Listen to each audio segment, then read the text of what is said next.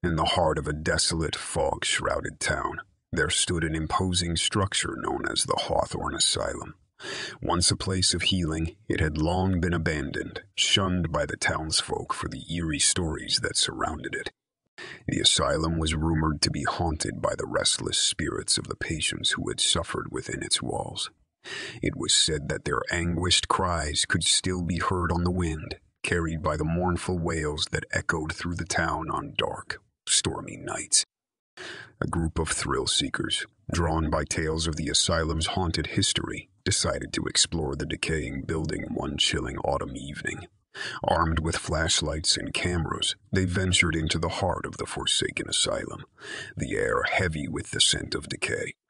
As they moved deeper into the asylum's labyrinthine corridors, they encountered signs of its grim past, rusted restraints, shattered windows, and faded patient records that told stories of pain and suffering. The group's bravado began to wane as they realized the horrors that had occurred within these walls. They soon reached the basement, a place of utter darkness and despair.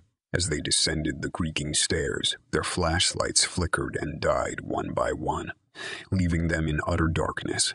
Panic set in as they fumbled for their phones to provide some semblance of light. In the dim glow of their phones, they saw something that made their blood run cold. Shadows seemed to dance and contort on the walls, taking on the twisted forms of tormented souls. Unearthly whispers filled the air, echoing with the anguish of the asylum's long forgotten patients. Desperate to escape, they stumbled back up the stairs, but the asylum seemed to have other plans. The doors slammed shut, trapping them inside. Frantic, they tried to force the doors open, but they wouldn't budge. As the group huddled together in terror, they heard the sound of approaching footsteps, each footfall heavy and agonized. Emerging from the darkness, the apparitions of former patients materialized before them, their faces twisted in agony and eyes empty of life. One by one, the spirits reached out, their icy fingers touching the members of the group. With each touch, the living were overcome by the pain and suffering that the patients had endured.